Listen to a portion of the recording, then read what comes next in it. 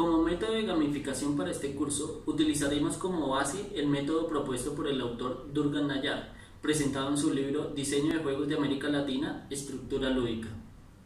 Dentro de este método se plantean cinco elementos para la gamificación, en donde el primero son los deseos y necesidades, y los cuales están relacionados directamente con la dimensión biológica del juego.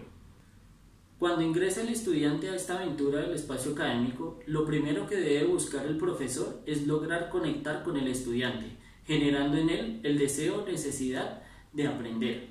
Para ello es importante ejemplificar desde un principio la utilidad de los conocimientos que va a adquirir. Esto puede estar representado como la meta o las metas a lograr.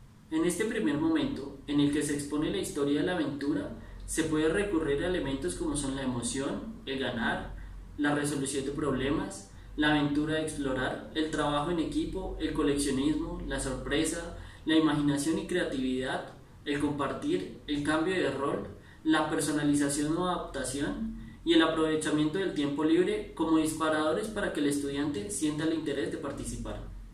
Por ello, el primer día de contacto con los estudiantes es importante que se muestre un esquema gráfico de la aventura del espacio académico, haciendo muestra de resultados obtenidos por otros estudiantes, además profundizando en las reglas de juego y el tema o pregunta orientadora desde donde partirán.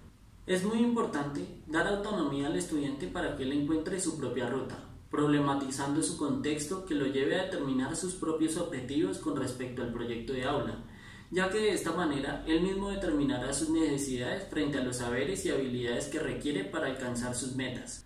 Porque el profesor como guía brinda a través de sus explicaciones y ejemplificaciones los conocimientos, teorías y métodos que puede aplicar el estudiante.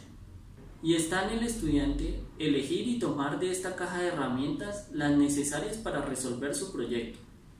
En la siguiente lección veremos cómo se determinan los objetivos para los proyectos de aula.